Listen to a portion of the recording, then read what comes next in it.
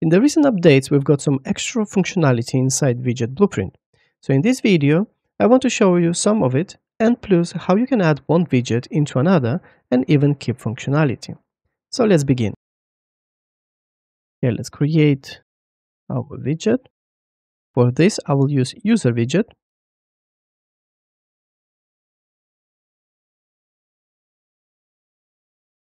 So if you don't know difference between user widget and modal dialog variant, modal dialog variant supports UI focus and user widget not. What means UI focus? It's basically when we can control something. So when we're playing with a character in the world, we can control character. So focus is in the world. So we're controlling aiming, shooting, all this kind of stuff. So all buttons and mouse clicking, it goes into world. Then when we're focusing in UI, it means we cannot control character, we cannot shoot, do anything in the world. We can only click anything in the UI. Because in both user widget and modal dialog variant, we can have buttons. But only in this one, when you will display this, and we're using this with pop-up dialog device, when you're triggering pop-up dialog device, straight away user is freezed and you will get mouse cursor and then you can control this UI. While user widget, it's primarily just for displaying some information. So for example, when you have like main HUD on your screen and you're still controlling your player, but then you can see like, for example, like red versus blue uh, scores. And I choose this one on purpose. So we have our widget, let's add canvas. And in here, so we have now new tab and it's not so new it's uh, like it was added few updates before, but we actually couldn't control these animations, but now actually we can control. I want that overlay and go to the side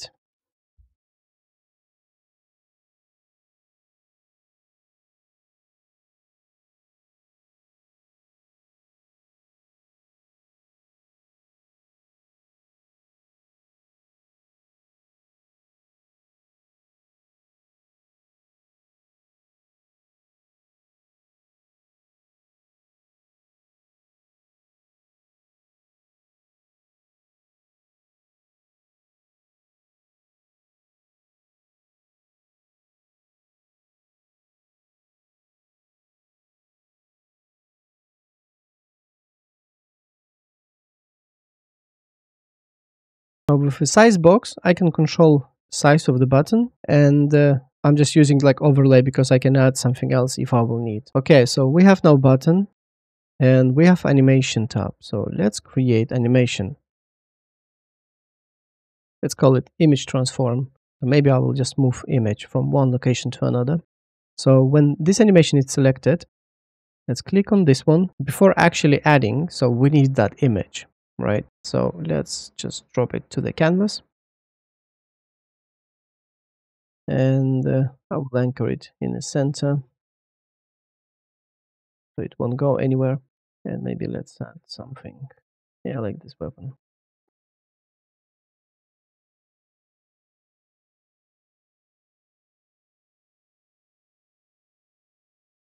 You know what, maybe what I will do, instead of moving it, I will maybe make it visible, and then scale it up. So image is selected, but it's not important. I can just select it in here, image 53. I have only one image, so renaming it's good practice if you have too many elements. But then when image is selected, I can click on the plus and I need visibility and I need transform. So in transform, we have scale, rotation, translation if we want. So it's pretty much same as working with sequencer. So I will set it to visible at the beginning. So when I will start playing animation, it will straight away make it visible. And in here, when I have selected my image, I will set this visibility to hidden. We still will see it and we can work for this. But when we will start game, it actually will be invisible. So it means when we will start playing, it will become visible. Now I will set this to 0, 0 by default and I will key frame.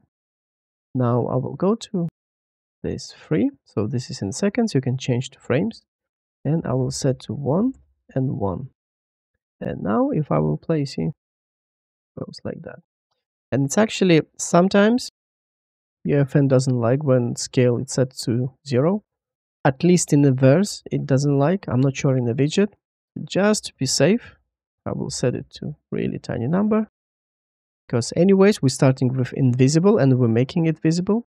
And when we'll start scaling, so it doesn't matter. We don't need to keep it invisible all the time. So we have that and it's three seconds. So as you can see, if I will play like that, super simple. And now I will select my button, go into bindings, add view model, actually on my second screen, like here. So view model, and we need this message view model. Don't need select anything, just press select and close. Let's go back to binding. So we have this our loud button. So I'll click on that. And now, if we will go into parameters of the loud button, got a few extra parameters and one of that it's on clicked. So before we had only click event and now we have this on clicked. So what that means, if I will select that and instead of choosing this HUD message device, I can click on my WBP, so like my blueprint. And in here I have a bunch of parameters to play video. What we want is or this, or for example, this one. So this one, it plays forward. This one, it's actually we can choose. See, if I'm selecting this one, now I can choose in here play mode, forward, reverse, or ping pong. So ping pong, it means it goes to the back, and then it goes in reverse, and again, and again, again, infinitely.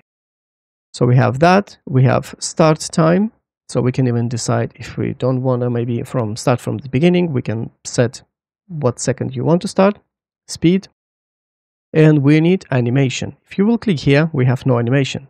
But actually, you need to click on this, so basically link, and then click on that. And in here we have name, image transform. This is my that image transform animation called. So let's go back to binding. Click here on that and image transform, select. So that's it. So basically what we're doing before, we had to do it a little bit differently. Let me quickly compile that. I will drop another button just demonstrate how we had it previously. So let's say I have a button. I'm adding my binding. Okay, so it's here on the top. Then in here, I had to set it one way to view model. So basically it's from the widget into device. Now, if I'm selecting this, you see we had conversion function. If I'm selecting that and we have now up to six buttons. So let's say this is my first button. Okay. Now in here, I had to select on this. Then I don't have response, but in a pop-up dialog device, there is response. And then that adds another field. And in, in that field, you're basically choosing your button. And in that button, you're choosing on, uh, where is our button?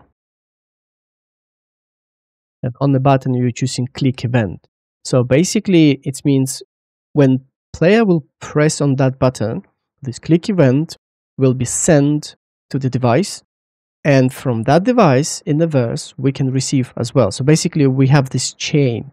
It's like from the widget into device, from device into verse. And in the verse, we're receiving this event when we subscribe and we can get even like what button was pressed. But this thing, it sends outside of the widget, okay? That's a difference. But this one, it actually keeps everything inside of the widget. So con of that is we can't send event to, let's say, verse. So in the verse, if you want, for example, know that when player clicked on this button, you won't receive event because again, we're not sending this event into the device. It stays inside of the widget. But if we just want to do something, so for example, to display information or to play this animation, then it's totally fine. And there is no limit how many buttons you have and how many images, right? Because when we're sending to device, there's only six buttons limit. So this is kind of cool. So I will keep this When I will press play, it will scale and show our image. And let me recheck. Yes, everything works. I will just delete this button. Now image is really tiny in there. And while I'm here, I want to show another thing. I will duplicate this image and I will anchor it on the top just so it's further away from the center.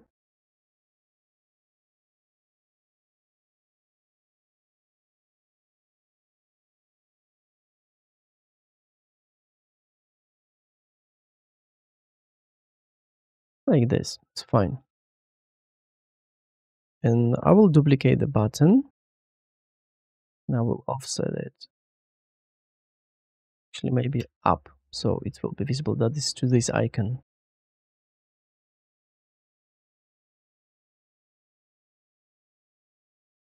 Okay so I have now second button. And instead of controlling animation with the second button I will control directly this image. And we can do this in the binding now as well. So when I have selected my second button, I'll click here. Again, I will choose on clicked. So here, on clicked. Now in here, I will choose my image. Yeah, it's just image. It's this one. And I will set visibility and I will set visible. And by default in here, you see it's hidden. And I will, if I will save, you see there is no errors. So everything works. And again, what it means, when I will press on this button, show star, it will send signal directly to this image that, hey, image, you must show up. That's it. Again, Verse device won't know about it. This is going on directly in the widget. Okay, so this is done. But then, hey, as I said, this widget, it's not supporting focus in UI. So it means player will never receive mouse and will never be able to click on these buttons. So how actually do it? And I will close this and I will create another widget. And this will be our modal dialog variant.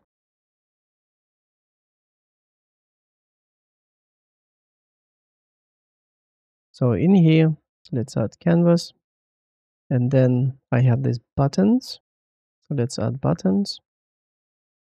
So first of all, I need set size to content.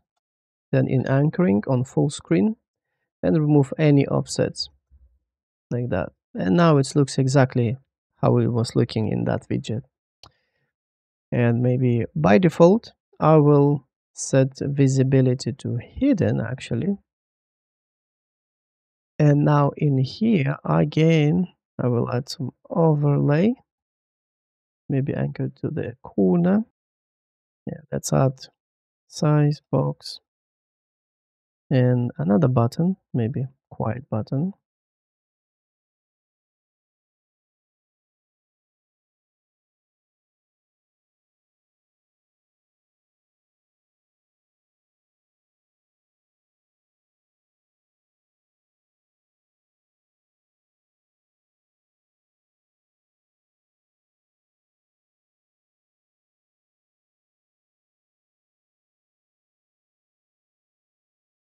Now with this show all, again, click on that, on click event, then we have uh, these buttons, visibility, set to visible, compile, fine. And then because again, we're not sending any event, you probably know that then it won't close our UI. I will duplicate all this thing because I want to put it on opposite side. So I will anchor it to the right corner.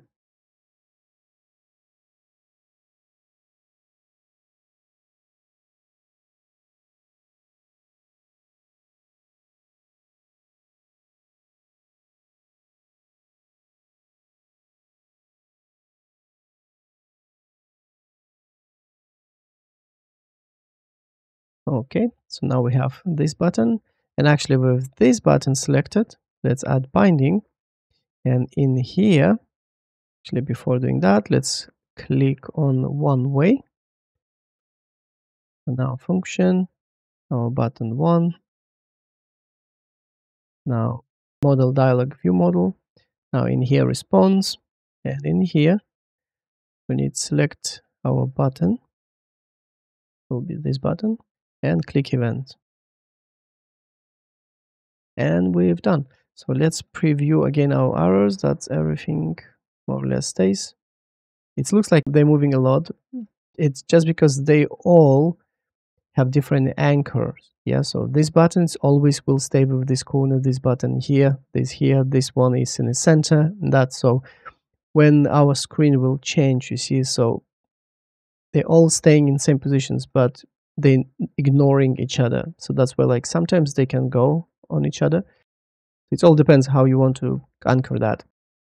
But it works. So at the beginning we will see only show all nothing else we should see. When we will click on show all we will see all these buttons not even these stars but just these two buttons. When we will click on show star we'll see star. When play animation we'll see this animation. And clicking on close we will close that so in here I will in here I will drop this pop-up dialog device. So alignment I will set it centered full.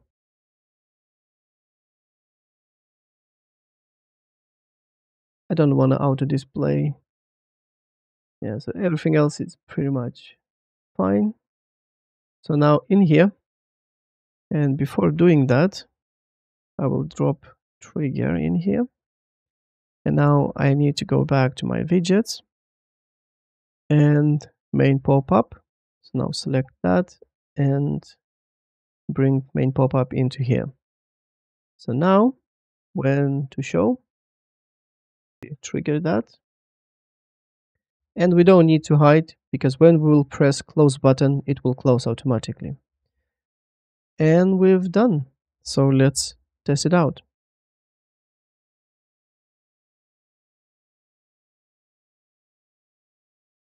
And here we have our show all and our close. If I will close it's gone. So if I will click on show all I have now these buttons. And because I'm still in this pop-up dialog uh, window, I can now control these buttons, which I wouldn't be able in a HUD message device. So if I will click show star, bam, I have my star. If I will click play animation, here we go, our animation. And if I will click close, I close and I can continue playing. As you can see, our widget UI is getting more and more powerful so hopefully we'll soon will get like more control of the animations, not just only with button click, because yeah, it's not always so great. But eventually I think it will grow into fully working UI. So hopefully this will help you creating really awesome new styles for the UI. I would like to say thank you to my all supporters. I appreciate your support. Thank you for your generosity. You can join our growing Discord community where we like to discuss UEFN tips and tricks, showcase our work and help each other. You can find link in the description or in the channel header. You can get project files on my Patreon or just buy me a coffee to support me. If you're interested learning more about UEFN materials, coding, widget UI and more, feel free to subscribe and click that bell icon to get notifications when new videos will be released. See you soon.